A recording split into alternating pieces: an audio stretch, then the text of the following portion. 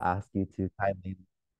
Um, I'm so excited for many of you to be here today. I know that we have such an, a very engaging conversation. I know many of you here um, are tuning in from different parts. So we'll just take a, a few seconds to actually, um, you know, introduce yourself. So please put your name, where you're, where you're tuning in from, and why you care about the insurance industry or what your concerns are when it comes to the climate crisis, um, if you want. So feel free to just type in where you're um, zooming in from to just let us know um, where you're from. And we also have the question and answer Q&A box below. Um, you'll see it on, on your screen below. So if you have questions and answers, you can also ask that. And just to reconfirm, this webinar is being recorded. So if you do not want to see yourself um, on the Zoom, I recommend to turn off your your webcam and you can also access the, the digital webinar screening um, in the next few weeks. Um, and thank you so much, everyone who has just tuned in. We are going to get started very shortly.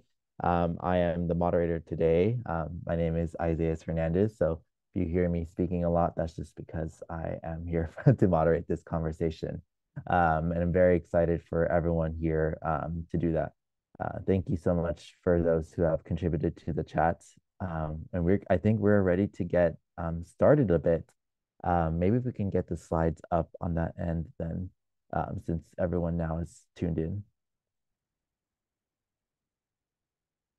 Thank you so much again, everyone, for being here today. I am collaborating today here with Insure Our Future to talk about how insurers are feeling the climate crisis and how we can stop them.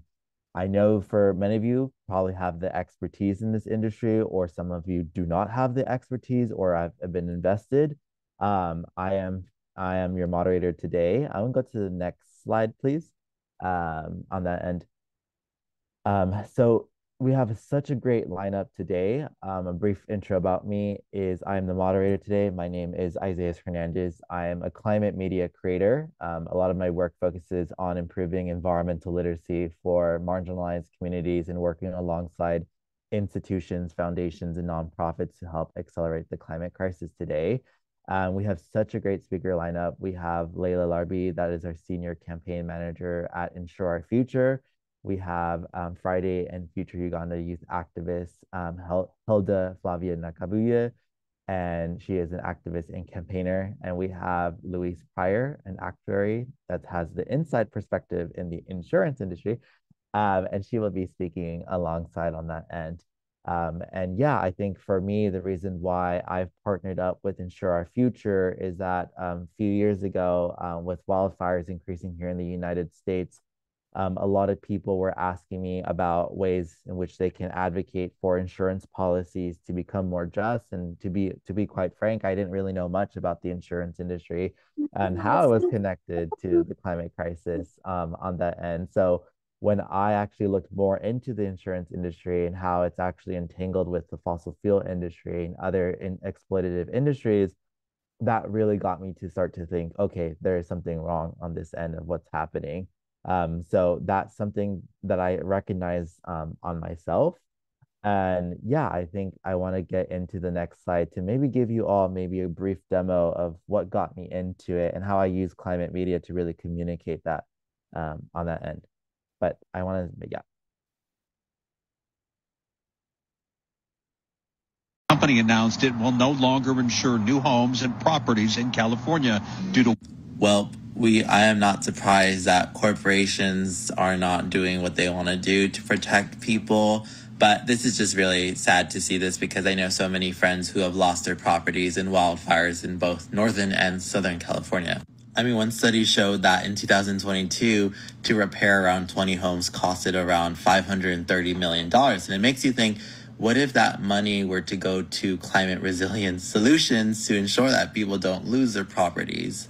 I mean, even in 2018, when I was living in Northern California, they had the hugest wildfire, and that costed 148.5 billion dollars in this economic damage. So, of course, corporations are seeing this as economic profit loss, but it also means that we are at an age that we can no longer even rely on these quote unquote insurance companies to protect us in California specifically We need more climate adaptation strategies and mitigation because people are going to continue losing their homes as the climate crisis continues to worsen. I mean, for me, I can't even buy a house so in California. So, I mean, there goes my idea of trying to own a home here.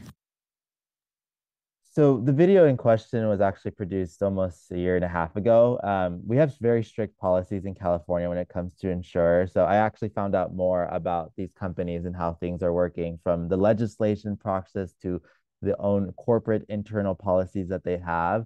And so it seems that there's an internal battle right now happening in California with the government, but also these corporations of saying like who's going to help subsidize and who's going to help provide these types of um, extra funding for these um, homes that are being destroyed. And so this actually got a lot of my community speaking about whether or not they should buy properties in mountainous regions, which anyone who's been to Southern California or knows about California, we are largely prone to wildfires due to the climate crisis and exacerbated um, heat waves.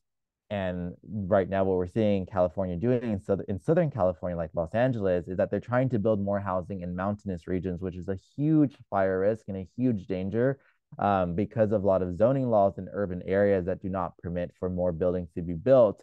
Um, they're building more upward. And so this was kind of a conversation to bring on that end. And we'll go to the next slide um, before we get to our amazing speakers on this end. Um, Company now I think maybe, yeah. So this is just kind of an example of how I really use climate media work today on my platform, Queer Brown Vegan. It's really focused on really um, extrapolating a lot of that information. I know I don't have the other slides um, on there, um, but if you're really interested in learning more about just a general introduction of like how insurance companies are failing us, I really recommend you to read this post. It takes maybe less than 10 minutes to read or five minutes. Uh, it's a really great introduction uh, to that on that end. Uh, we'll go to the next slide on that end. So just a reminder um, for you all is that the first ever global week of action targeting the insurance industry um, is happening from Monday, 26th of February to Sunday to 3rd March. So uh, make sure to head over to insureourfuture.com, I believe, or .org, .com. Um, and you can also um, make sure to use the hashtag InsureOurFuture and tag us at Insure Our Future to make sure that we're seeing that, um, whether that's on LinkedIn, Twitter, um, Threads, Instagram, uh, TikTok, use your platform to raise awareness um, on this. And you can find out much more uh, great information on that end and understanding how insurance underpins most commercial activities and understanding on that end. Uh, we'll go to the next slide, please.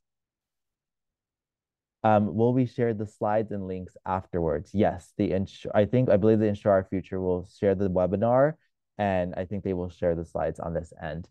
Um, thank you so much for that wonderful question. And please remind you all that you can use the Q&A box, so please feel free to submit questions throughout the presentation on this end today. Today, our first amazing speaker is Hilda Flavia Nakabuye, that is taking on the world leading insurance companies to stop EACOP um, I am so grateful to be in her presence today, and I would love for her to introduce herself and share a little bit more about her work and um, what she's specifically going to be focusing on um, to help stopping insurance companies um, in the global south.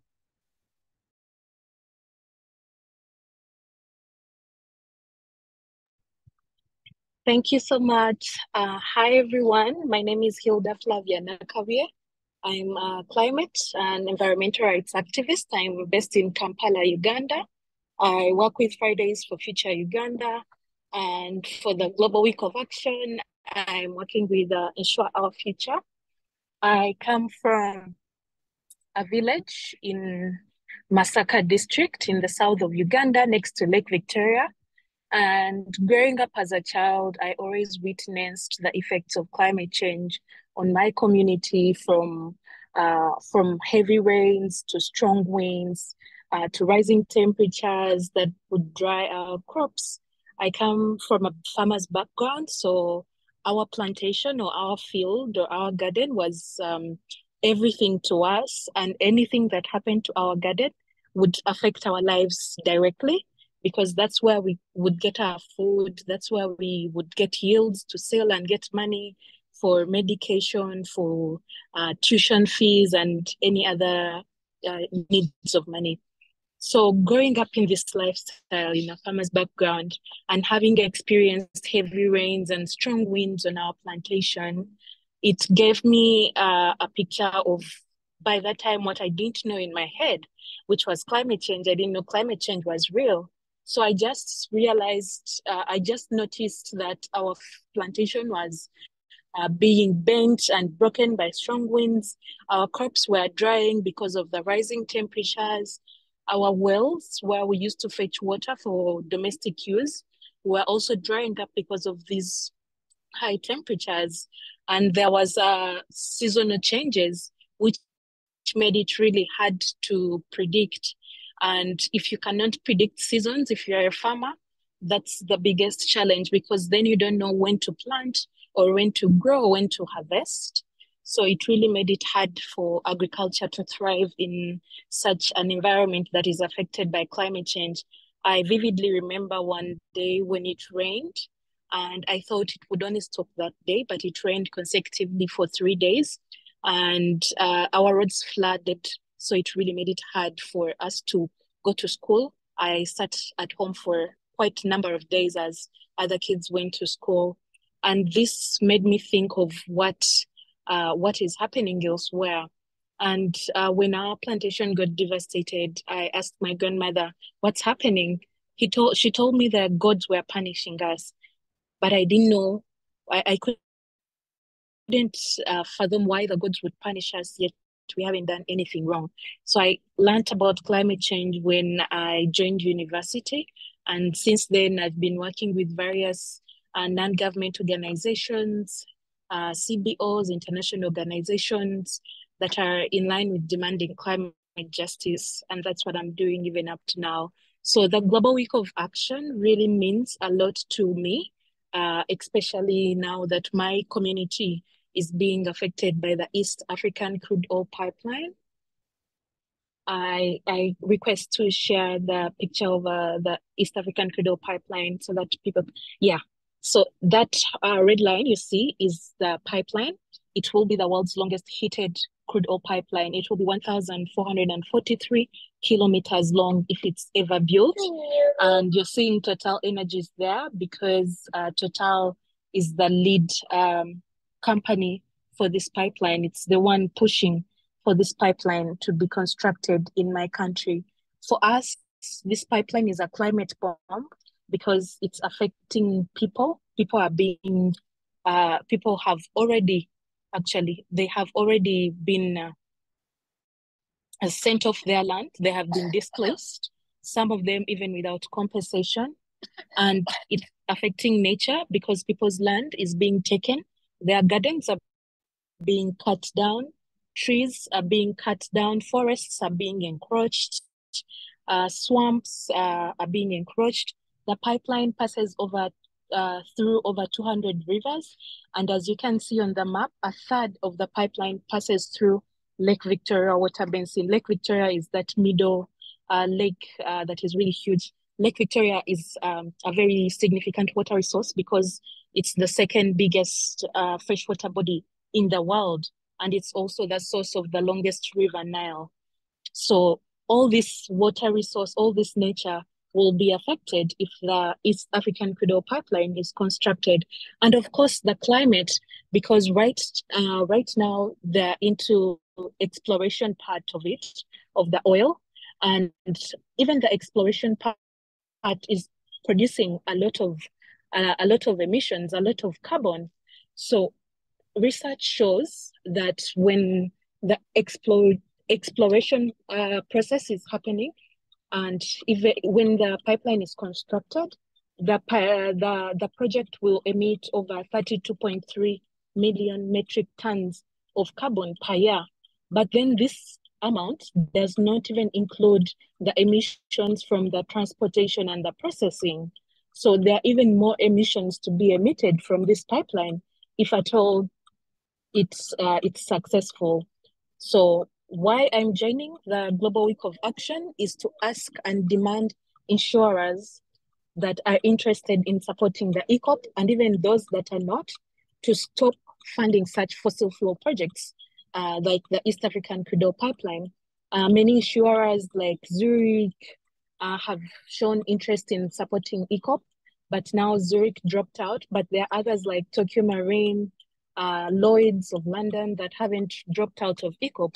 So my main focus uh, will be to demand insurers like Lloyd's of London, uh, Tokio Marine, uh, to stop uh, their support for the East African crude oil pipeline project, but even also other projects, other oil and gas projects that are going on around the world, like the LNG in uh, in the US and many others. And we are not only focusing on uh, on on Tokio Marine and Lloyd's, but there is also AIG. And you can also look through your community what insurance companies are creating havoc or are insuring fossil fuel projects, and then you can aim to reach those uh, those insurance companies to demand that they stop that. Why? Because insurance companies are supposed to protect us, the communities, but now they are protecting the fossil fuel companies, which is not fair. So we need to remind them of their responsibility to the communities because uh, overall uh, they are paid to protect the communities from havoc.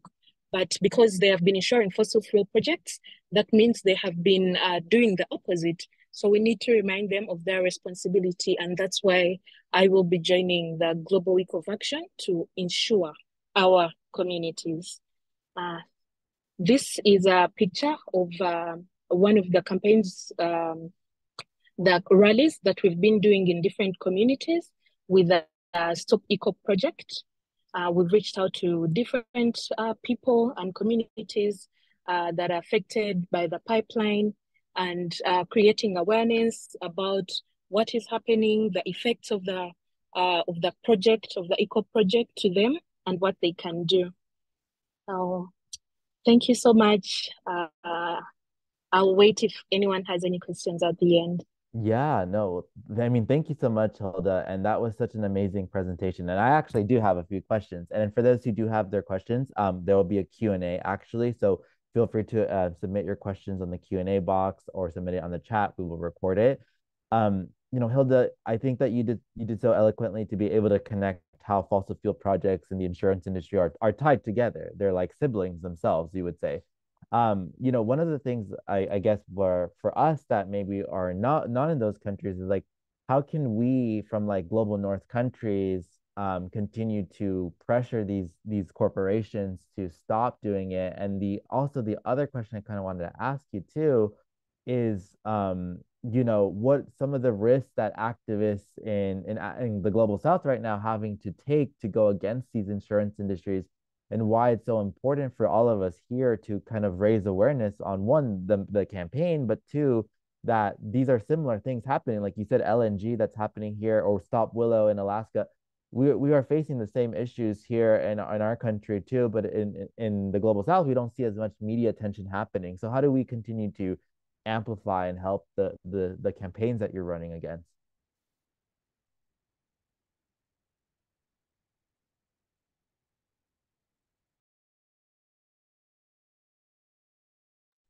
Uh, thank you for the question. So we've been using different ways of reaching out to people, uh, uh, such as social media, which is the easiest that everyone can be a part of.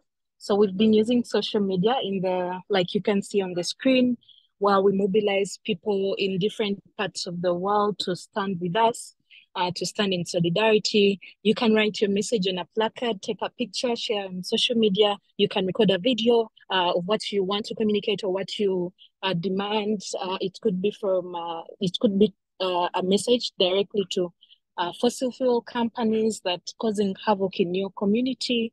it could be to an insurance company, for example. It could be to policymakers. it could be to decision makers. So social media is one of the biggest tools that we do, but we also mobilize in communities because communities are on the front lines. They are the ones that are being affected by this project. So we reach out to communities, mobilize them, sensitize them, organize trainings, make sure they are well informed so that they can be, so that they are empowered to also speak up for themselves. And uh, another thing is we've been reaching out to uh, different uh, decision, no, different influencers uh, globally. For example, for the Stop EACOP campaign, uh, we had, um, we had a we joined a march that was organized in Paris. Uh, it was the Paris Climate March. We took part in this march and we created awareness about the pipeline through different people who participated. We also had a rally within different European countries uh, just to create awareness about the EACOP pipeline so that people can stand in solidarity with us, but also because Total is a French company. So we needed uh, French people to know what is happening in our communities and uh, where where the, the energy they're using comes from, uh, where the oil that they're using comes from, and how it's affecting the people in these communities. So we created awareness by joining such um, marches or climate strikes or climate protests. And uh, we also reached out to influential people such as the Pope, like you you saw in the in the old slide, to the Pope, to uh, uh, presidents of uh, different countries, uh, to banks, uh, banks and other financial institutions where that give support to Total Energies, which was uh, the biggest our our target company. So we reached out to these financial institutions. We reached out to Total's financial advisors to share the plight and the stories of people on the front line so that they can draw from our experience to better advise Total Energies on uh, its its desires or the projects that it's uh, it's operating in other countries. So that's how we've been able to reach out to different people and also to reach uh, where the campaign is right now. And yeah. at the moment, we over 25 banks have withdrawn their support for the EACOP project, and over 26 insurers also have withdrawn their support from this project. That that is so amazing, Hilda, and thank you so much for showcasing those that we can constantly target from even being a frontline activist to even divesting away and cutting your relationship with those industries. I know that here in the United States, a lot of people I know have Chase, and I've been pressuring a lot of my friends to abandon Chase uh, for its its its contribution to the fossil fuel industry. And I think it is very powerful to see that you actually are able to maintain pressure on these um, companies for them to actually have to drop out. So uh, I just want to say thank you so much again for just sharing us this information and how we can continue working together to stop EACOP because we, we need to do that. So I, I just want to say thank you so much, Hilda. And for those who have questions, um, we will have um, time to ask more questions to Hilda and her amazing work that she continues to do um, in this industry. And you can see all the campaigns and the activism that she continues to do. Um, please make sure to check out her work and also message her if you're interested in getting involved with the campaign. Um, and I think we should have, we'll have time to go on to the next slides, please, I think.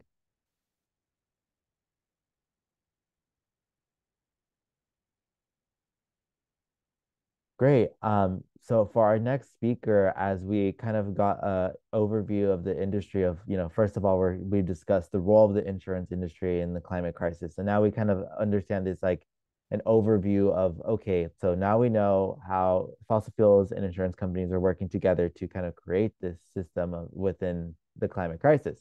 But how can insurance industry be a catalyst for change? And that's something that I often ask myself and my community ask themselves, which is why I'm very excited to introduce um, Louise Pryor, who is an insider perspective on the insurance industry's roles and their responsibility in the climate crisis um, I thank you so much for being here today, Louise, and feel free to introduce yourself and the work that you do. Thanks, Isaias. It's great to be here. Um, I don't think, yeah, I was going to say, I don't think we need the slide now. Um, so I'm an actuary. I'm, um, I've been focusing for at least the last 10 years on climate issues because I think it's the most important problem facing us as, as people, as the world and because I would really, really, really like to see the financial services industry actually serving society rather than just their own interests. Um, so um, I have been working with my professional body, the uh, Institute and Faculty of Actuaries in the UK. I've spent a lot. They they actually do some pretty good work on sustainability. There's a um, they have a lot of resources for people on some of some of what's going on. Um, and I'm a, also a past president of that. I'm currently chair of the Ecology Building Society, which is a small mutual bank for, for, for, non-Brits. Uh, Building Society is a mutual bank, so we're not profit making. Well, we do make profits, but it's all ploughed back. And we're really, really focused on lending for impact. We want to make the world a better place, so that's what we lend for. But I've done a lot of work, a lot of thinking about the role of insurers in, in the climate crisis. And we see in our everyday lives, we see insurers because they insure our homes, if, if we live in the right place, or our cars, or whatever. But that's actually just the tip of the iceberg of what insurers do. Insurers, they like to think of themselves, and I, I think it's reasonably accurate, as if you like the lubrication for the commercial world.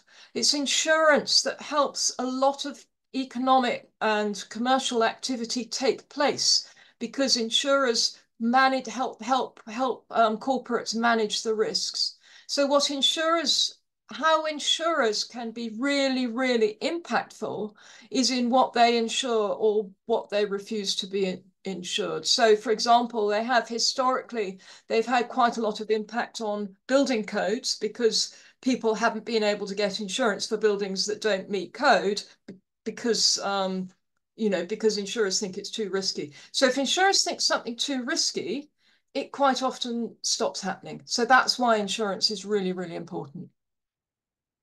You know, and I, I really appreciate that because I think that kind of helps illustrate the ways for the next question, but also the ways that insurance industries are thinking, which is, you know, the main risk that you know these in, these industries identify on with the regard to climate change like how aware is the industry of these risks i know that often at times it seems that like they are trying to be aware of these risks but i think it's all about more about profit loss than actually holistic view of ecological and social and economic impacts uh yes uh, profit is very, very important to insurance companies. That's what they feel they're there for.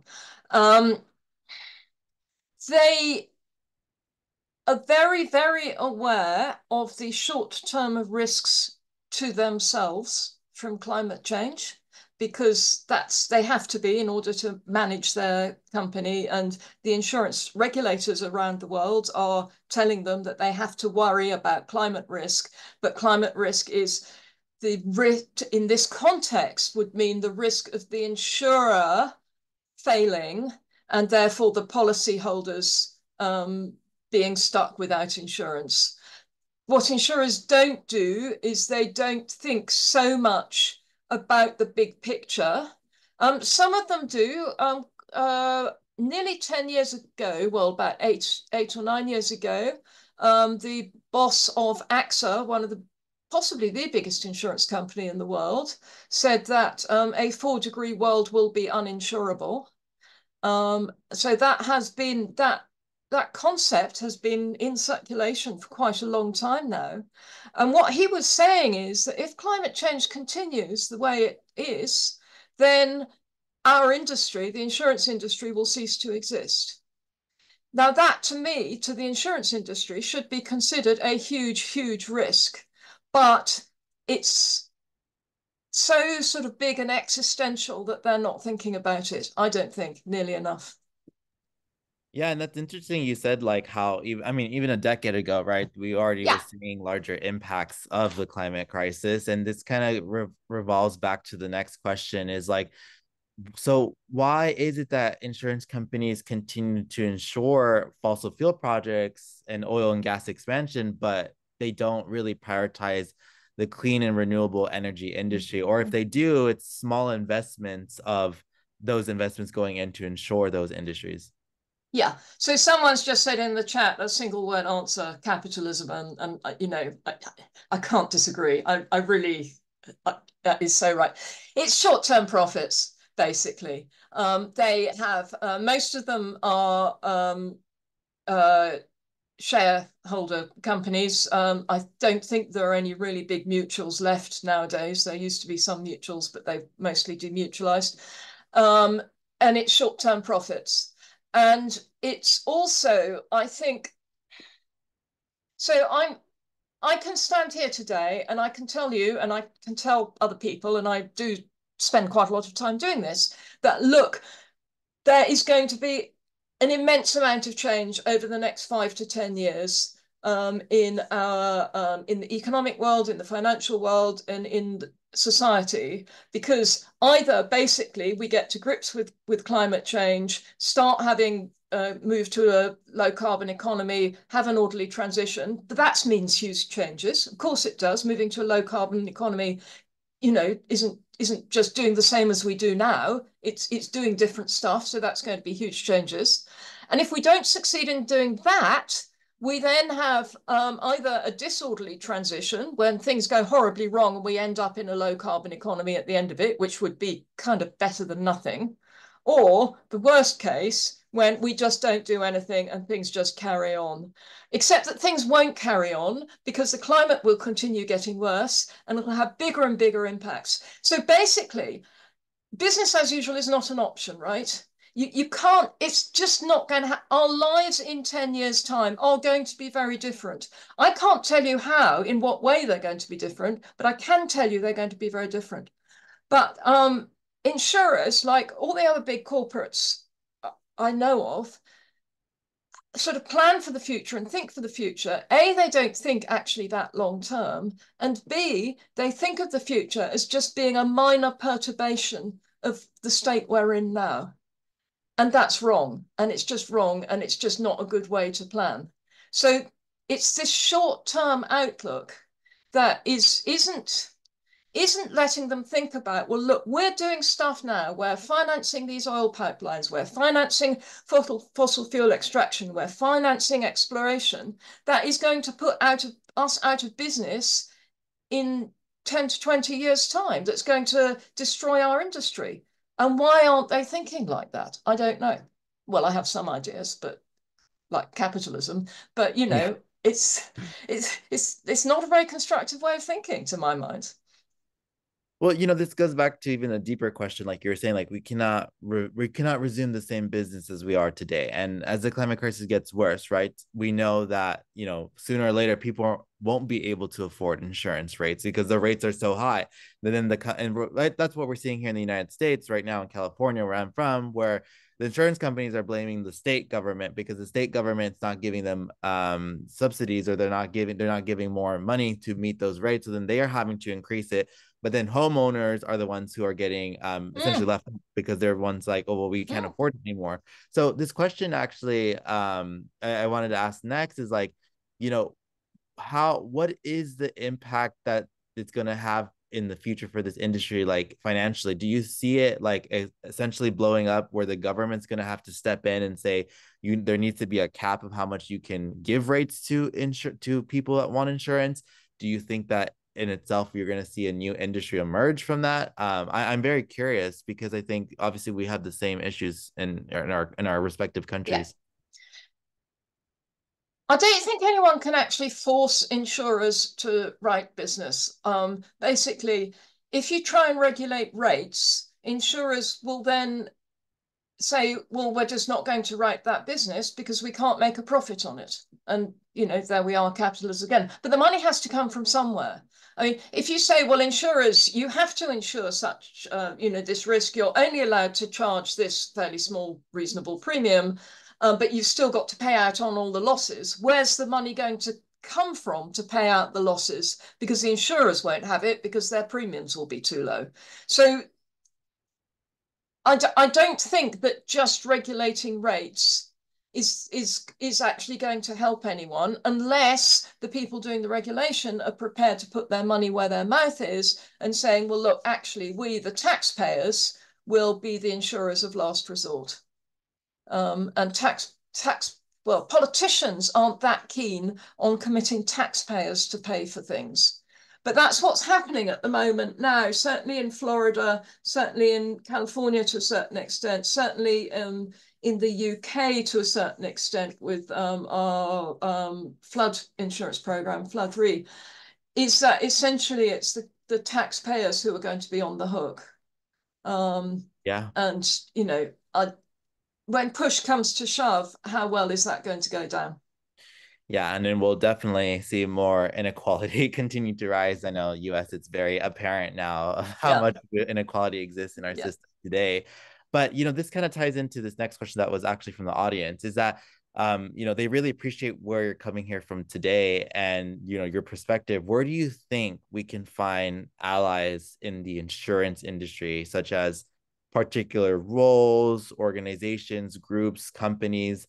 And do you have any pearls of wisdom that you would teach them and embolden them to enhance their strategies of how they message? Yeah. Um, yeah, I mean, there are people within individual insurers. Um, they mostly have have um, sort of sustainability teams now, and mostly what what you find, you know, talking informally to people, what you find is that the people in those sustainability teams are really, really trying to apply quite a lot of pressure, but they're kind of doing it from below, if you like, and it's it it the, the way to I think really get change in the insurers. Um, you can get it to a certain extent from regulation and legislation, but that's very much compliance driven rather than genuine wanting to do stuff. You know, they'll do it because they're told to. But what really makes a difference is leadership from the top. So if you've got a CEO or a chair who absolutely gets this. And how can how can we get that to happen? I'm wary of saying that what we have to do is to make them realize what the real problem is that they're putting themselves out of business. Because although that's true, I know that rational arguments aren't necessarily the way to to make change, to push change, which I find very difficult because I'm a rational person, that that's sort of my way of that's my mindset.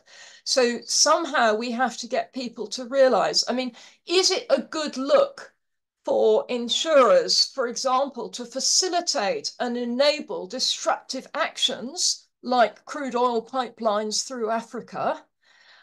while they are refusing to support mundane everyday actions like living in a house. I mean, that just seems crazy. Why don't why don't you spend money on, you know, why don't you try and help people live in houses rather than help people destroy the ability to live in houses?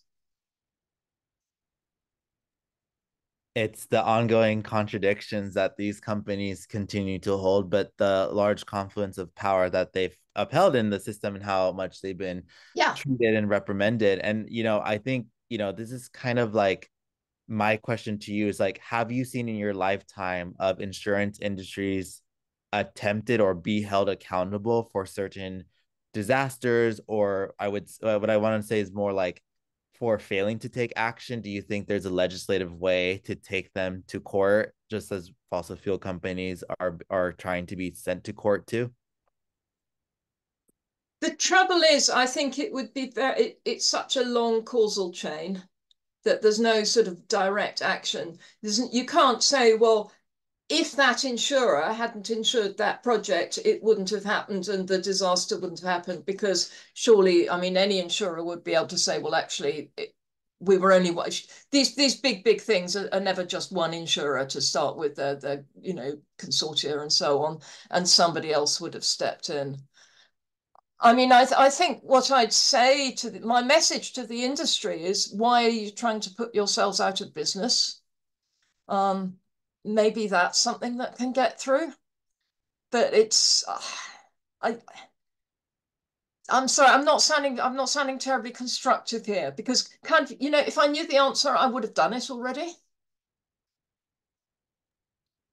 Yeah, I mean, I, I think that's the hardest question when we know at the end of the day, like the we can as much as we disrupt their private conferences and their meetings and whatever they're they're having, it's like it seems like an endless um, battle here. I mean, here in the United States, we we are trying to, which is why it's so important for all of us collectively to try to find that solution by mm. checking out mm-hmm. Insure Our Future campaign and what we're doing there because, you know, although we realistically are dealing with the same issues, just in different contexts and different ways of how it's being constructed or viewed as from its citizen point of view, uh, we do need to take action on that end. So I really appreciate all the comments of people leaving here um, below. And if you have questions for Louise, we do have Q and A, so we will definitely have more opportunities to do that. So please submit your Q and A on the Q and A box. We will definitely be extending more of this conversation today. Um, and so thank you so much, Louise. Um, and thank you again for everything. And we're going to go to our next speaker. Um, if we can go to the next slide, please, if possible, or open up the slides again. Um, our next speaker will be Leyla Larbi, who is People's Power of How Your Online and Offline Actions Do Make a Difference. And I'm so excited for you to join us here today, Leyla. If you can briefly introduce yourself and maybe talk about, you know, when did you learn about the insurer's role in the climate crisis and what led you to campaign around insurance? And doesn't it doesn't seem like the most obvious choice at first because you know i think about false banks and i think about fossil fuel companies. I don't re- i didn't really think about insurance industries until the last two years where i started to get fr- messages about insurance companies not insuring their homes anymore. And i said that's a that's that's a security threat for a lot of homeowners here in the united states Thank you so much, Isaias. Uh, so yeah, I'm a campaign uh, manager. Uh, I'm focusing on climate finance issues, and I've been working at uh, the NGO Ekō for six years.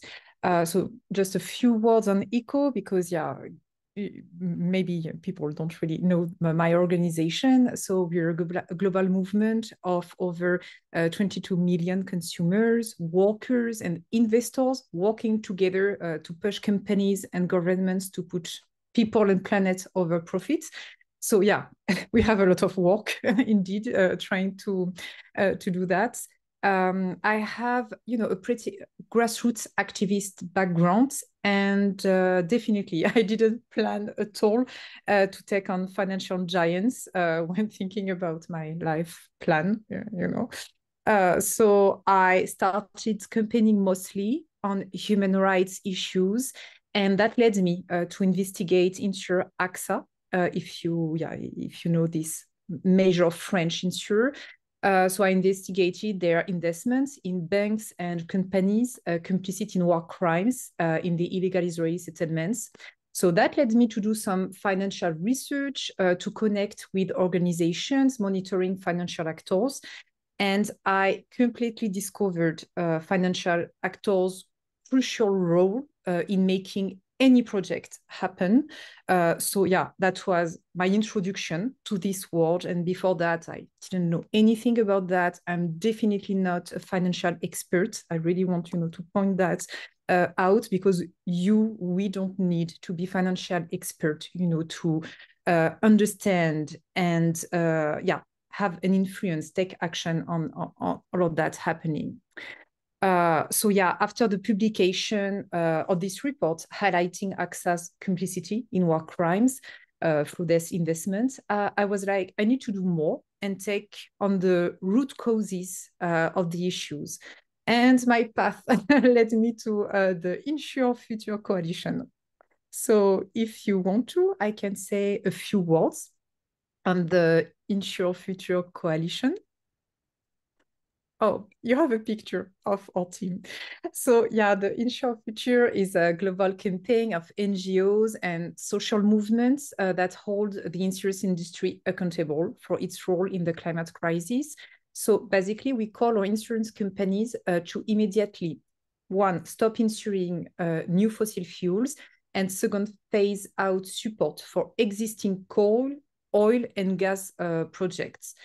Uh, yeah, simply because uh, to build a new fossil fuel project, companies need three things the permits, the money, and the insurance. So, without insurance, uh, fossil fuel companies can absolutely not dig new coal mines, build tar sand uh, pipelines, uh, expand oil and gas uh, productions. So, insurance, so this makes, you know, insurance definitely the Achilles heel uh, of the fossil fuel uh, industry. So, except for a few laggards, uh, most insurers have stops uh, have stopped insuring new coal projects under pressure from our campaign, which is a major success of our campaign. but unfortunately, in contradiction of their own climate commitments, uh, most insurers continue to underwrite the expansion of uh, the oil and gas industry. Uh, yeah, so on this picture, uh, just a world. So as you can see, we're very small, but we're uh, a nimble uh, team. Uh, we are all working for different organizations. Uh, so, so mine is Ekō, but we have so many more within this coalition, and we join together as activists and you know now friends to conjugate our efforts on that. And uh, uh, this is also translating. Uh, so you've been maybe hearing about the Global Week of Action, Global Week of Action. So yeah, let me tell you just a few words uh, about the Global Week of Action. Uh, so uh, this week is put together by our Insure Our Future coalition, and we are going to have over 30 actions uh, in more than 20 countries during this week. So countries including Uganda, the UK, Korea, Colombia, Switzerland, uh, the US, uh, Japan, France, South Africa, Germany, Egypt, and so many more. And uh, yeah, the aim, so with your help, uh, we want to hold insurers accountable and help accelerate this shift away from fossil fuels uh, as you can see on this map, uh, you can organize an event with us or see what actions are already planned and join them. So the, the, the, with your help, uh, we want to uh, replicate what we did for coal for the oil and gas expansions. Thanks to this, you know, people's mobilization, coal is almost unanswerable, if we can say so. And uh, we want to do the same for the oil and gas uh, expansion. So insurers are, you know, very competitive and sensitive to reputational uh, reputational damage. Uh, so pitching the leaders versus laggards is a very good approach uh, for us.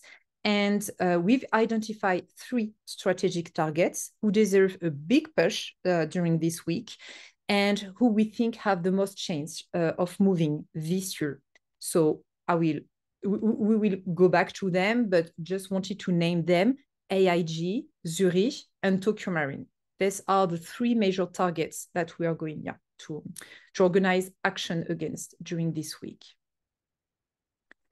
Um, I maybe would like, tell me, Isaias, if maybe you have any question or anything, because I can't see the yeah. chat. So, no, I I love I love this. I I think I really like the analogy of first of all like the connections of like fossil fuel projects, insurers, and they and fossil fuels projects need the insurance company. So it's like if you tackle one of the tentacles of the existing exploitative system, then you can stall or you know not allow that project to happen. One of the big biggest issues I think that um I think for advocacy work and demanding action is that the general, let's say the general um, British citizen or the general American or the general European citizen or whoever is out there, they they may not understand the climate crisis. And that's generally true in Americans here. We Americans, some of them don't believe in climate change, but what they care about is housing, medical, and good paying jobs.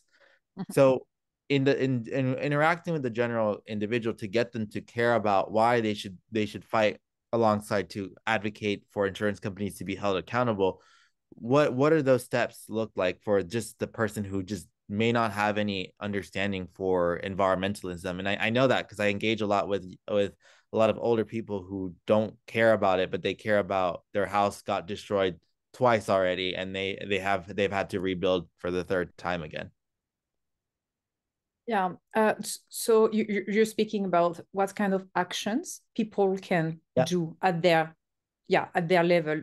Definitely, that's what uh, I definitely want to to, to discuss with you all uh, today. So why it's important uh, to take action, what can be the impact of the actions that we can take.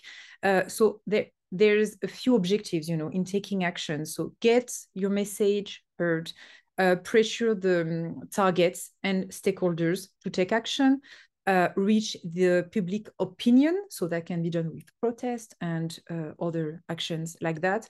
It's also being part of this movement uh, building, you know, recognizing each other and showing that, okay, I'm not alone thinking that there is a major issue and wanted to take action on that.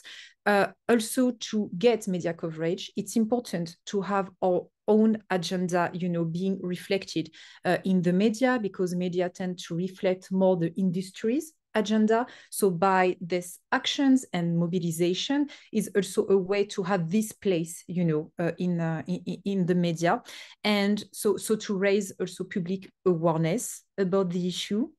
What we are doing uh, in with our co coalition is trying to empower, you know, people uh, like you me to take to take action. And we can do that uh, in two different ways i would say more offline actions actions in real life and digital actions. So there are uh, different impacts and you know results of doing that for the offline actions, uh, the, the aim of doing that is to engage with workers, shareholders, to, to meet them uh, actually. It's to be visible, to engage with the public.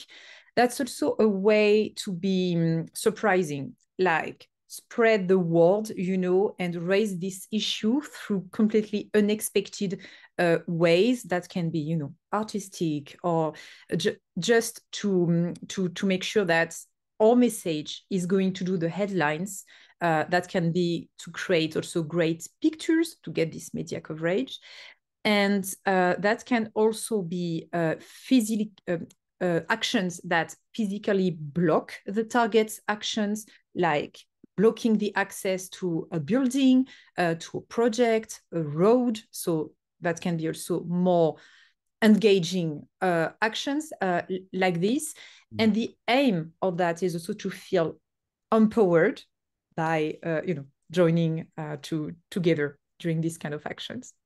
And you know, for people who don't believe in the people power, there's there's there's been a lot of solutions and also wins in the collective organization. Can you name some of them and see like what what was it that happened and what was the end result that came out of those campaigns? Yeah, that that's uh that's also yeah great for these slides. Uh, so yeah, I don't want to bother you with slide, but sometimes having just a few, uh, can I, you know, design, materializing uh, these wins can be important. So people's power, yeah, um, people's power definitely works. And uh, what we've been succeeding so far. So we are making new coal power plants uninsurable. Uh, this is a major success as coal is the dirtiest, uh, the dirtiest uh, fuel. 45 insurance companies have introduced coal exit, exit or restriction policies, uh, which is huge. Uh, 26 companies have exit or restriction policies on tar sands, and 18 companies have exit or restriction policies on new oil and gas.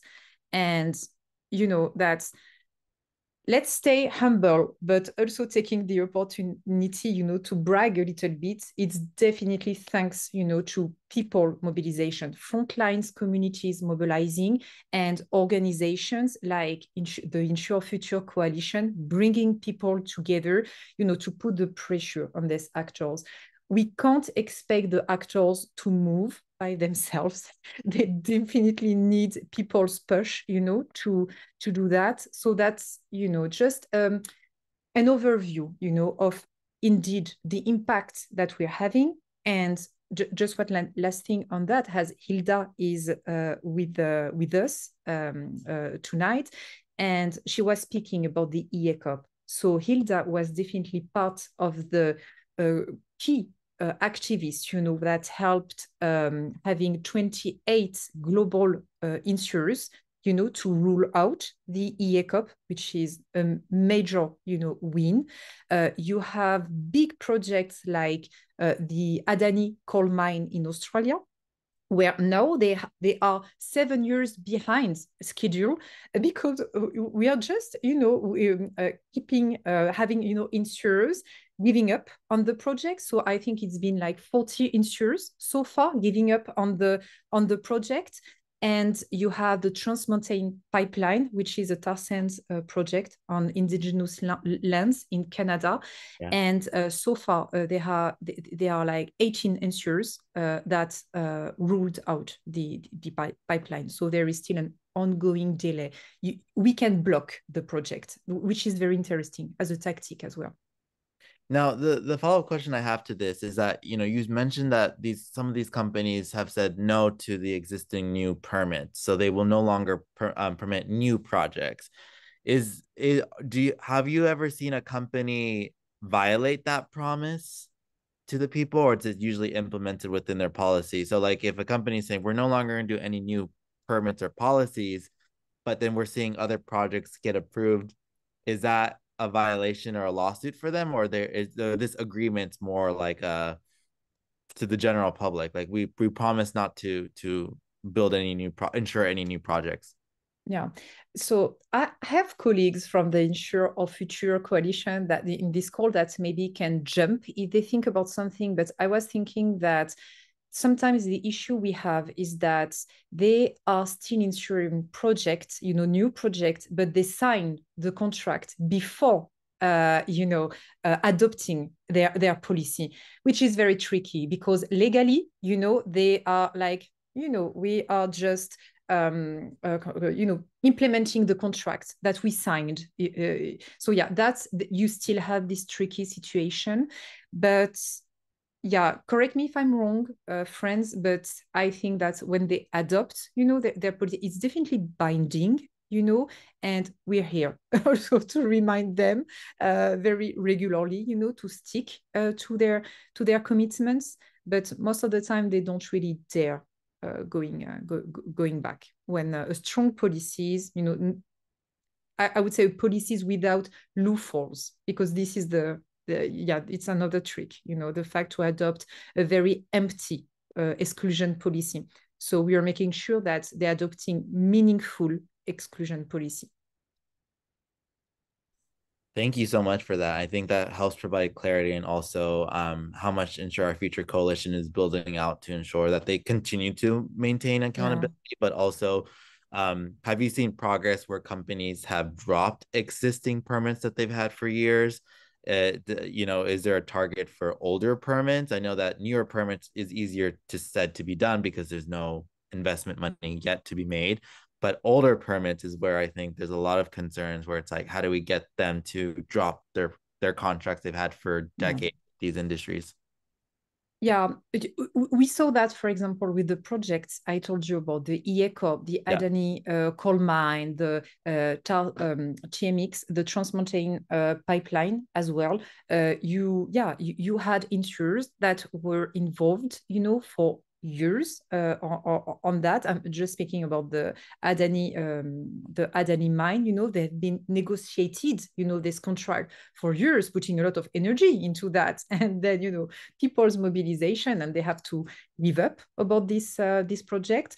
But uh, yeah, that's that's something that that's winnable if that's maybe the question uh, behind uh, you know the answer behind your question yeah it we it um it's not a big deal, you know, either they have been involved for years, you know, on a project or they are hesitating to sign a contract. I think that, of course, if we can just stop them, you know, uh, um, um, have this intervention uh, at this moment when before they sign i think of course that's the best to put all the pressure at that moment but we can make them divest uh, as well yeah, thank you so much. I think it's it can it helps illustrate more the community power and collective effort that all of us have to be able to get these industries to divest, but that there is this continued momentum happening on there. So thank you so much again, Leyla, for um, giving us this information. And I know that a lot of you here are eager to probably if we go to the next slide to see um, if there's a next slide on that end or the ending slide, but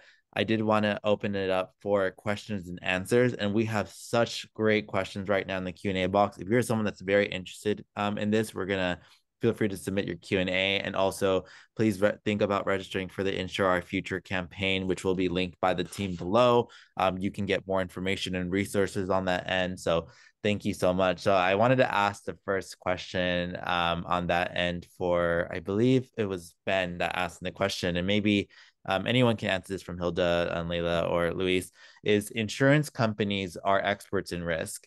It's what they do. And moderate disruption premiums are going up and profits continue but major disruptions will drive an existential crisis so why are these industries getting it wrong I can I'll, I'll jump in on this one i think it's because they don't believe that the major disruptions will happen i think it's very difficult for people to to grasp in any meaningful way how bad things can be and that bad things will actually happen.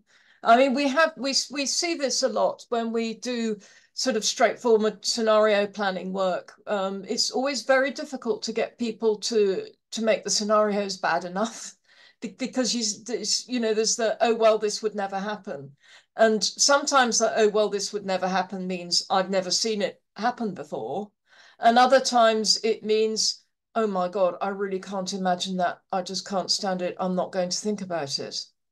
Um, and I, I, you know, I think there was a, a, another question. I think I'm picking up on some of the points that, that the um, other questioner um, mentioned. Uh, Natalie Thomas, thanks for that question. is that it's actually quite difficult for people psychologically to really think about this bad stuff. So it's just so much easier not to. it's almost as if it's e- easier to imagine a different world but in reality recognize the truth of what's happening on end mm, a lot mm. of industry leaders um which I, I think you know this this actually leads into some of natalie's questions and like kind of adding into that. Maybe hilda like you know in in your region like you know do you think that the global leaders are behaving unsustainably not just for capitalism but do you think that they're also scared about the future actions or peers actions that have caused that are unfolding this globally? Um, i know that you know i'm just speaking on myself is I, I think in america we all i think they all recognize the threat of the climate crisis but i think right now we're politicizing climate crisis as controversial or we're banning esg goals and it's just very much um, it's very sad to see that's happening here in america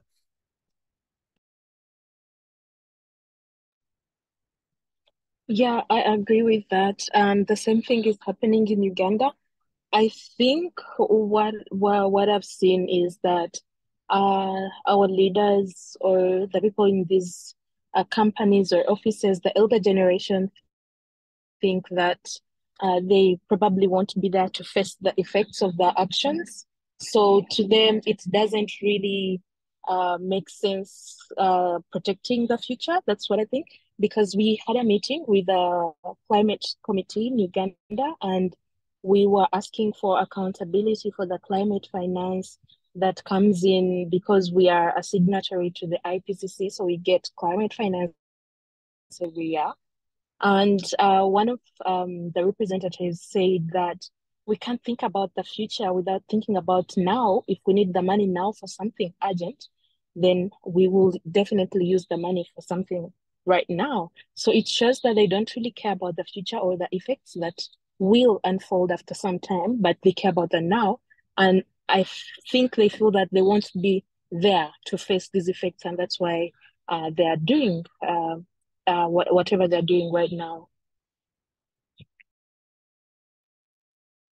Yeah, absolutely, and I, and I think the the the ways in which um you know world some of the world leaders and some of the industry leaders are behaving are behaving as i would say kids they're behaving too as if you know in some way they they care about the planet but they don't care about the actionable steps their company is doing. So they they will say yeah like climate change is real but you know my industry is already committed to this by we've already reduced our emissions. We have offsets. We are um you know pushing this policy. We we said new to permits but it almost seems as if like there there should be a continued momentum of constant evolution from these industries. It should not be that it's stagnant and it just remains um, on that end, just because we have to pressure them every time to to start to to drop these permits.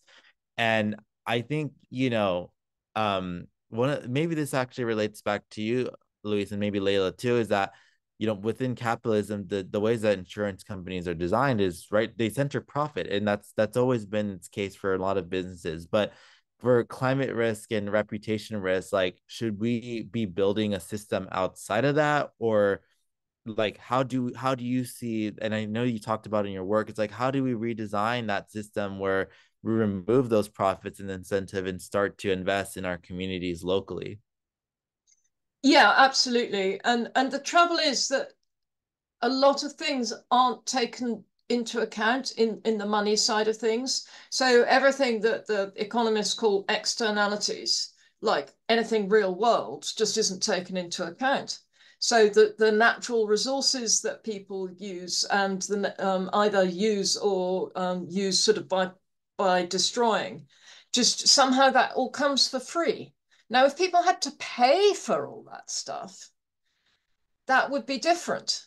Um, you, you know, you could maybe translate that into money and, and the, the, the profit motive would, would come. But at the moment, you get people saying, well, gosh, yes, I mean, obviously the climate's important. Obviously biodiversity is important. Yes, yes, yes. And of course we should do something. Yes, yes, yes. Oh, you mean it's going to make life a bit inconvenient for me? oh, uh, um, uh, oh, well, I didn't really mean it. And, you know, that's just not helpful, is it? It isn't. And I think that's where we kind of get to this endless loop of uh, conversations and debates with individuals. And that's kind of leads on to like, you know, industries that are trying to. And maybe Leyla, you can talk more about this. Is that, you know, AXA, one of the insurance industries, I believe, um, is uh, is ahead of the game um uh, someone said that they've seen their environmental policies and you know there are still reasons we could criticize them but you know do you do you think that they're doing enough or do you think like what what new policies would you specifically would like to see for the industry to evolve into? Because it shouldn't have to come from the community to demand them. It should come from internal employee structures to say this is wrong. We need to start building out for the future. Yeah uh, you're, speaking about AXA, right? Yeah, so, yeah, sorry, with my French stuff, we, we say AXA. I saw that I was a bit disturbed. Sorry, Americans is AXA. um, yeah, so the, yeah, yeah, they, they, they are quiet leaders on some aspects yeah of, of, that and there are also internal discussions on either we should consider you know that they are leaders because it's like you know they are actually doing basic stuff but amongst you know when we see the global pictures yeah they look like you know the outstanding students i, I would say but no, not really. They still can do better. But for the industry we are definitely asking uh, for uh, the uh, exclusions on uh, on coal. Yeah having all the insurance company uh, doing this. And uh, we want to have comprehensive, complete exclusion of new oil um, and gas uh, on fossil fuel projects as well. But not only new, we are asking new to be, uh, th that's the first step, but they need to move away uh, from the fossil fuel industry in general, you know, invest uh, in uh, renewable uh, energies, of course. And they also have um, uh, a responsibility. We didn't mention that uh, today, but uh, I think that's also the moment about loss and damages. Uh, you know, they are contributing to this, uh, you know, economy, which is destroying, you know, entire uh, communities, landscape, and which is contributing to the catastrophic scenarios of having living in a world of maybe, you know, um, two, of two degrees uh, two Celsius uh, degrees more, you, you, know. So they, there is also all a conversation about who should be also responsible, you know, to pay for all these damages. So insurers also have uh, a responsibility uh, in, into this. So that's my short answers to to this. But yeah, definitely comprehensive exclusions on all fossil fuels um, on, on, fossil, on fossil fuels project and all fossil fuels.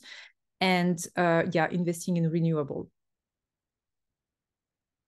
Yeah, thank you so much for that. And I think it's so important that, you know, as we continue to shape these new industries on their end. But on the other hand, there was actually a great question here in the chat is what what and maybe you know Hilda, Louise, and Leyla, I want you all to contribute this is like how do we effectively talk to the people who work in the industry? So maybe we're not talking to the CEO, but we're talking to those that are in manager or director type roles. How what what have you seen that has been effective in your opinion of how to be taught? Because I think as a young person, anything disruption we're seen as annoying, a hindrance, and disrespectful, and we're asked to to leave the room. So, how do you think we can effectively? What is your best way to effectively talking to them in your point of view? Um, we all have different theories of change here uh, on that end. should I? Uh, yeah, should I go for this one? Yeah. So, sorry, maybe you mentioned someone else. I know everyone um, can go. I want everyone to just okay. comment. Yeah. I'm just going to give uh, you uh, a few stuff, and you know, people can also uh, comment and contribute as well.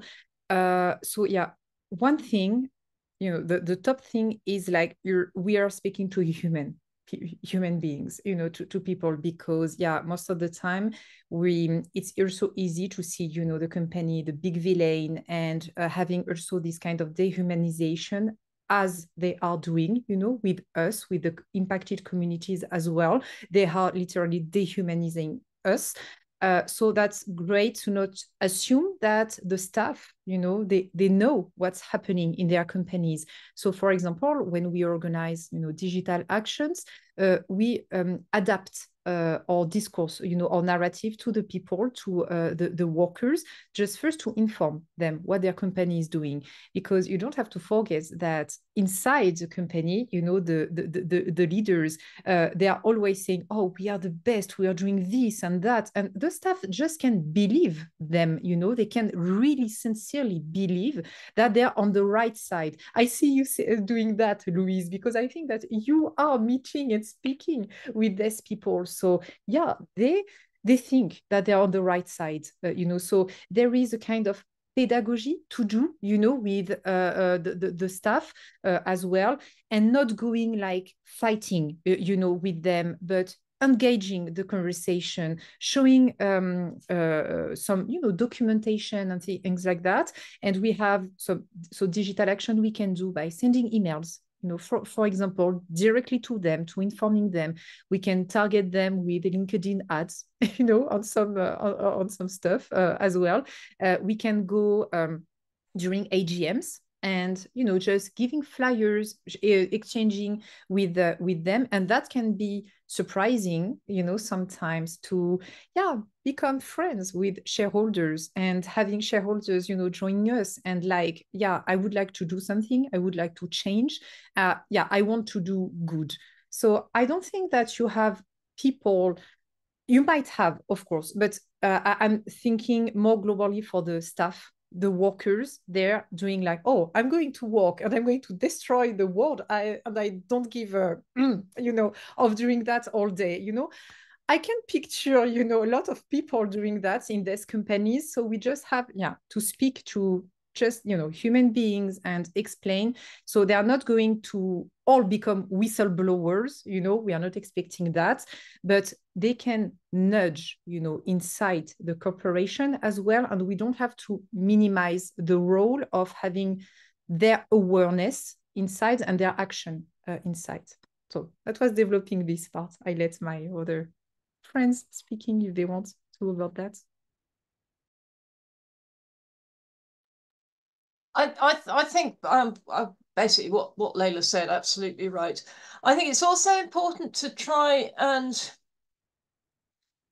not not criticize them as people not not say you are you personally are doing the wrong thing because that's that's very threatening and and really sets people against you you want them to be on your side so um you know you it's it's ways of getting them think thinking for themselves without saying, and by the way, you are working for this company that is killing people or whatever, because I don't, I mean, it, may well be true, but it probably isn't helpful in, in that context. Yeah, I, I love that point of view. And Hilda, Hilda, I would love your point of view too, from like a young climate activist perspective, because I know that um I approach too, like, and this is kind of related to Natalie, I think Natalie Thomas's question too. It's like um I try my best to promote education instead of interrogation immediately. And I use this tactic a lot with older people because I think too, like if I don't know them, I need to understand where what their moral compass of values holds in the spectrum. And so I think for me, that's how I've approached things first of being like, let me see what their views are on life first. Um, but Hilda, I would love for your thoughts, specifically like the work that you continue to do and how, how also um, dangerous it is for young activists to do this work. Okay. Uh, thank you. So for, for me, I would advise uh, storytelling. Uh, storytelling in the way that if these employees hear or read about a story from, for example, a, a girl from a frontline community uh, that is being affected by the activities of the company, so maybe they can think about their work differently because they're seeing evidence and it's not that someone is telling them direct in the face that uh, they they are doing wrong or what they're doing is not good. So I would advise st- storytelling, and that is one of the tactics we used with the Stop EACOP. We uh, mobilized. We we were four climate activists from Uganda from the front line, and we went on sharing our stories with different banks, institutions, organizations, and uh, it really helped them understand uh, the point that we are trying to communicate and how our communities are affected, how the world will be affected. And of course, uh, with some research, uh, it, it was able to help them understand that it's not only the frontline communities that are affected, but also the world at large will be affected or their country will be affected in one way or the other. So mm, that's that would be my advice. Yeah, I love the storytelling aspect because I think storytelling is a tool of creativity. The the our societies are bitch are built on cultural foundations, and I think that's really what holds people together is is stories, not so much data and facts. While they are super important and that they are used as storytelling too, I think the the heart of what it comes from the community. And this kind of ties back, Hilda, back to the question here in the chat for you is that despite of the fact that most insurance banks and government um, pay- payers, I believe, or payers, um, gave up on EACOP um, in Uganda and Tanzania, why is it that you think that it's become a huge elephant um, for climate activists globally? I think to me, it, it seems to me that the storytelling is what helped make it such a large campaign.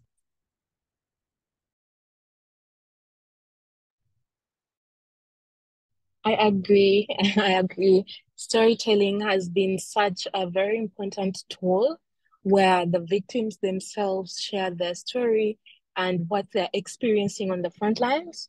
Uh, but also, I think because of international solidarity, many people have understood where we come from, where our fight roots, uh, because of sharing the story. So they can connect to the campaign or to the fight and that's why uh, many people have been joining the Stop EACOP campaign because it's visible, but also because um, it has a radical approach where they directly reach out to uh, or expose the company that is uh, doing wrong. For example, Total Energies.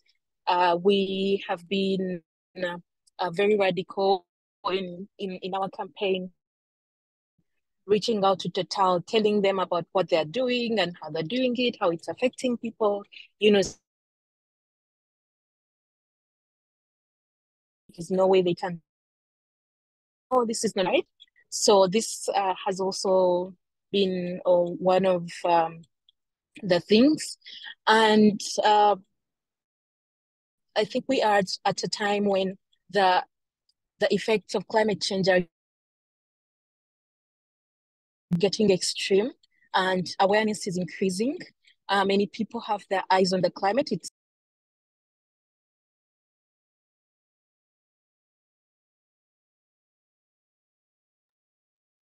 Oh, Hilda, I think we may have lost you. Um, Okay, can you hear me? yes, I can hear you now. Yep.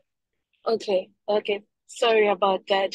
No, you're good. So I I was saying we are at a time when um the world is starting to realize that climate change is real and it's a priority. It's affecting everyone, and also many international organizations are coming up to speak against it, such as the IEA, uh, which say that there should be no um, new oil and uh, or gas or coal projects for us to stay below 1.5 degrees Celsius, which is, of course, research that scientists have been saying for a while, but many people haven't uh, been understanding. But uh, due to the youth uh, climate movement, it has helped people understand uh, climate change better. Yeah. Yeah, no, thank you so much. And yes, I, I agree. I think that the EACOP has similarities to how Stop Willow project here uh, in the US and how it was being presented. I think the storytelling was one of the large components, kind of like the LNG project that I helped participate in raising awareness against. And I think um the the pressure though specifically on those corporations was so unique in the way that EACOP was doing it um, from different strategies but I think the radical um, approach on there um, on that end but I think you know within insider industries um, you know uh, Louise, this is actually a really great question that someone asked is, you know, how different are actuaries to other parts of the insurance industry? And do you think they can be effectively mobilized to dis- to disrupt from within a broad from within on a broad scale on the end? Um, I think actuaries are exactly like everybody else in that they vary hugely. That there are some actuaries who are um, really on board and really understand all all all you know climate crisis and, and, sustainability and so on and there's a lot of actuaries doing some very good work on that. Um, and there are other actuaries who say don't bother me with that just let me get on with my day job. Um, so there's the whole um, there's the, the the whole range. Um, i think that I found that even some of the more committed people, actually, there are limits to what they'll do. So they're doing some great work. Um, Ilana's just posting some links in the chat now. Um, there, there was some fantastic work done on climate scenarios and, and how the ones that are widely used, especially the NGFS ones, are, well, I think if I say completely useless, I'm actually not being quite fair, but I mean basically not not that good. Um, but when it comes to asking them to actually speak out, they're less willing to do so because they feel that um, they, their jobs might be threatened.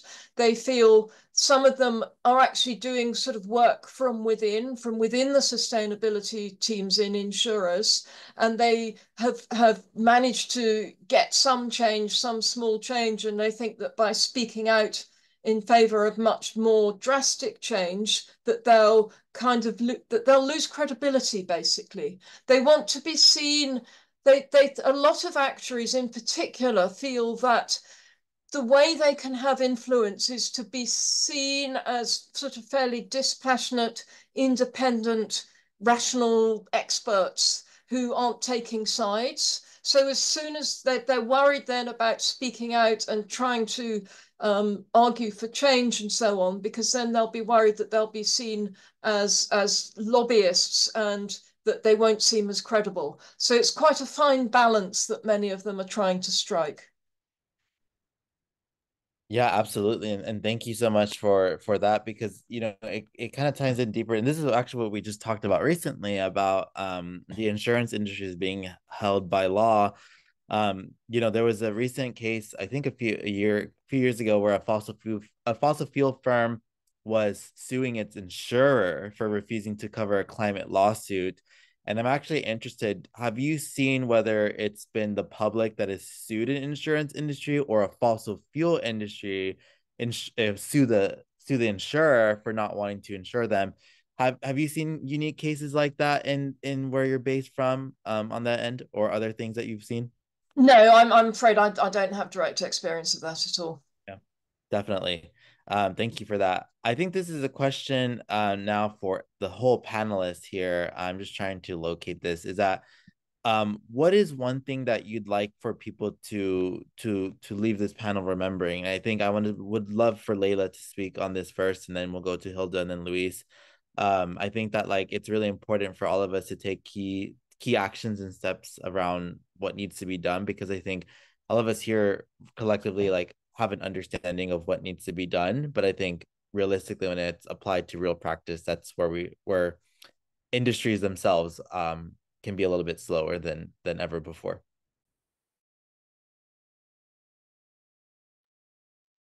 Yeah, there are, there are many questions in one question, is Isaias. You're trapping me.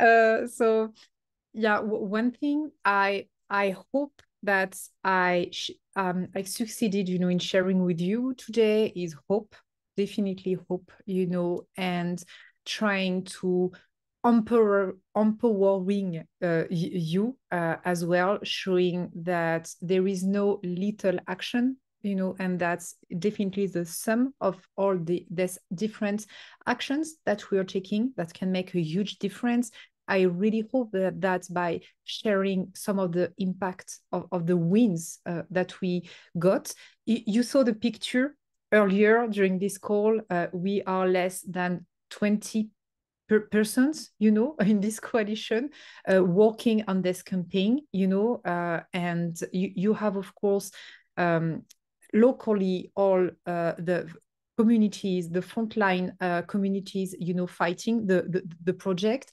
and us, you know, the, the, our team is just trying to coordinate everything, strategizing. But if we only rely on people's actions, you know, people's power, people's taking action, you know, to really, really have an impact, because it's not just the 20 person here, you know, doing something. We can only being impactful thanks to you taking action. And this global week of action, I, if I could conclude, you know, on on that, is definitely a great opportunity to target all the different stakeholders uh, you know, uh, within the insurance industry. So Ilana is going to share with you uh, some links and you'll have the opportunity to take action as you can according to you, you know your your level of engagement and what you are ready to do and that can be calling the staff you know have this human discussion with uh, with them sending emails going on twitter and doing yes some brand shaming because sometimes they deserve that they deserve they deserve that we call them publicly you know? So yeah you'll have all this range of different actions that you can easily take, you know, even from home.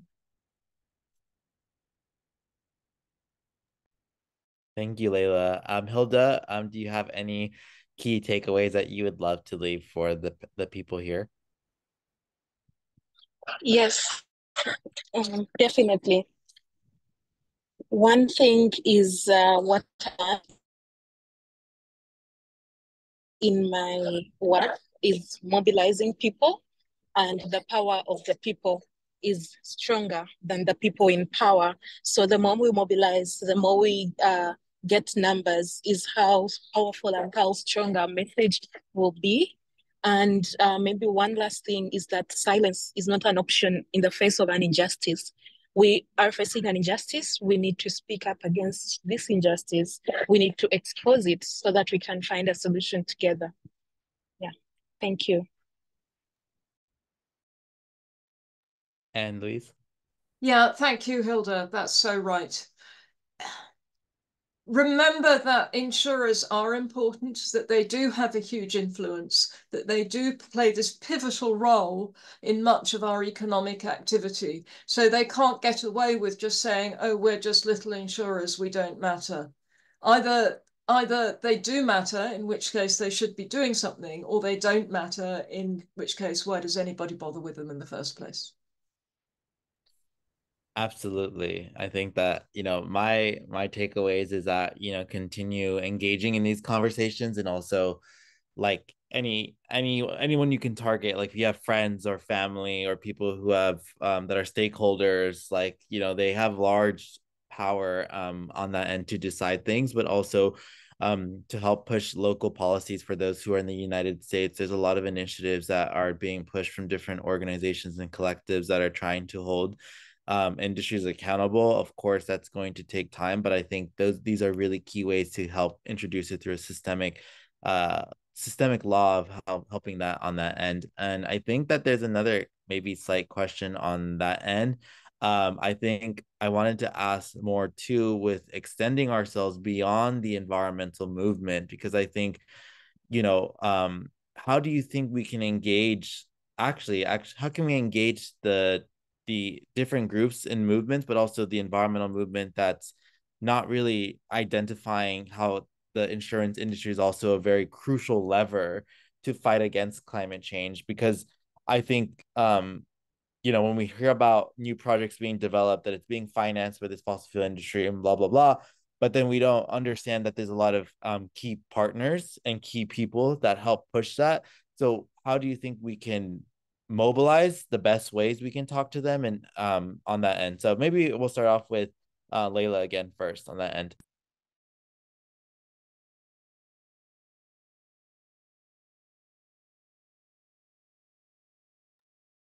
Sorry, I couldn't unmute.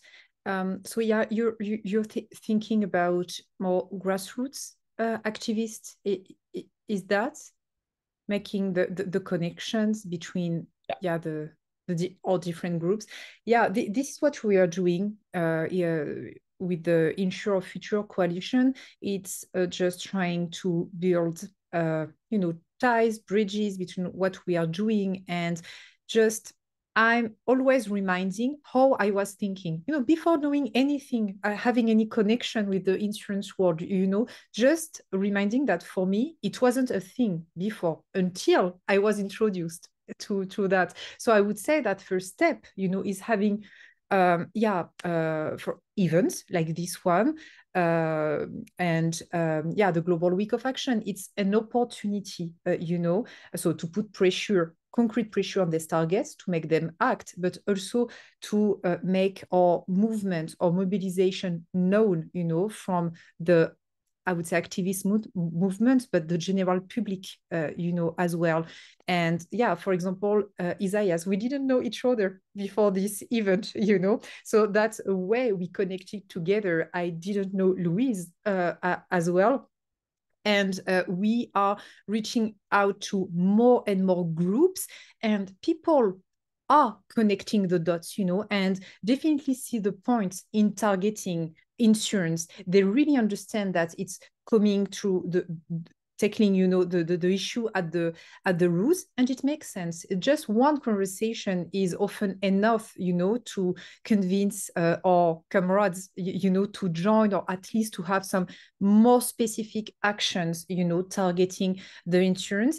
Most of the time it makes sense to target the banks and now people are more and more coming to targeting the insurance knowing that with targeting the insurance, there is kind this kind of more moral obligation, you know, on the insurance side that you don't really feel or have uh, on the bank's uh, side, which make them more vulnerable, I would say, you know, targets uh, for the for the activist uh, as well. So yeah, short answer after all of that is maybe just you know just connecting all together and yeah just reaching out and uh, trying to have more public events uh, like that so, so, so people can see the point of mobilizing uh, against insurers. Thank you so much, Leyla. And Hilda, what about yourself?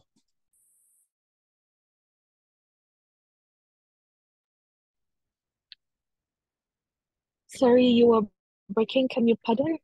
Yes, um, yes. Let me repeat the question. So, how do you think we can um, further extend the education and actions about the insurance industries to the environmental movement, who often really not struggles, I would say, but often maybe isn't as well as educated enough on the insurance industry?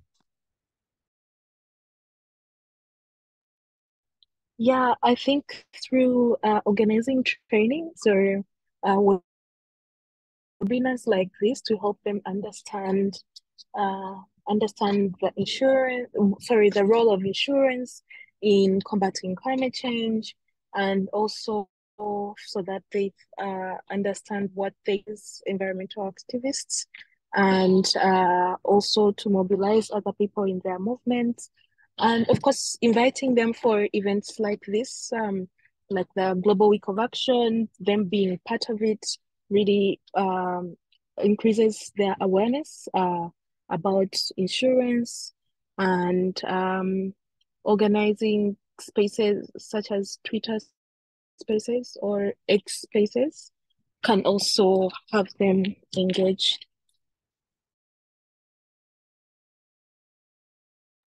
Thank you so much, Hilda and Louise. Um, I I would say, yeah, like how do you think we can get um yeah, intergenerational movements to to continue to learn about this?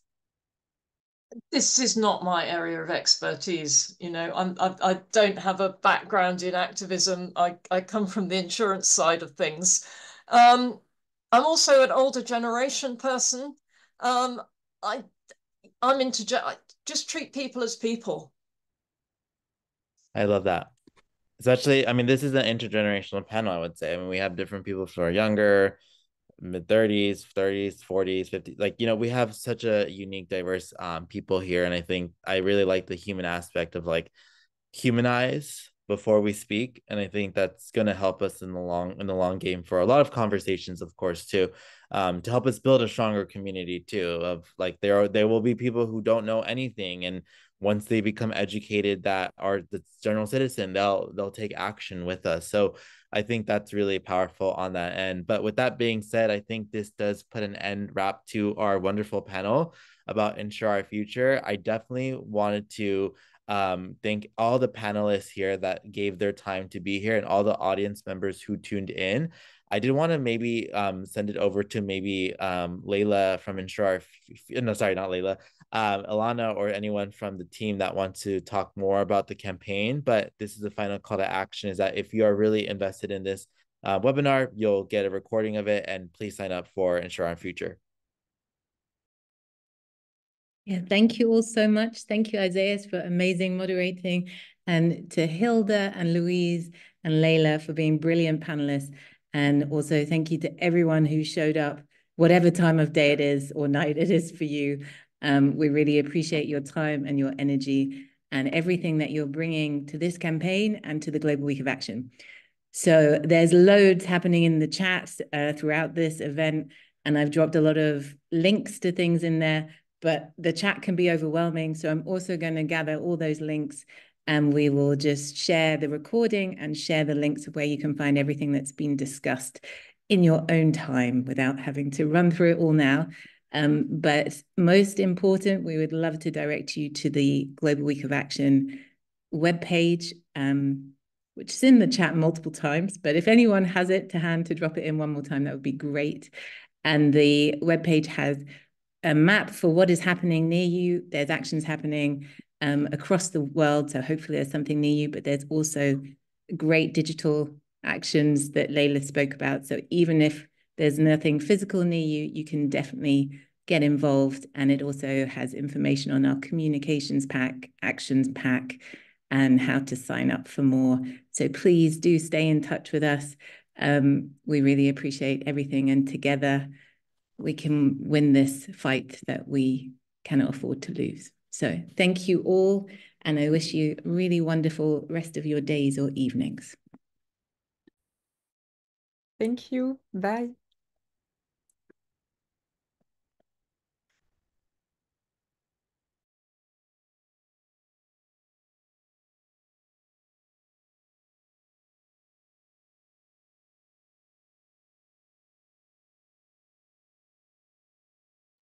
Bye.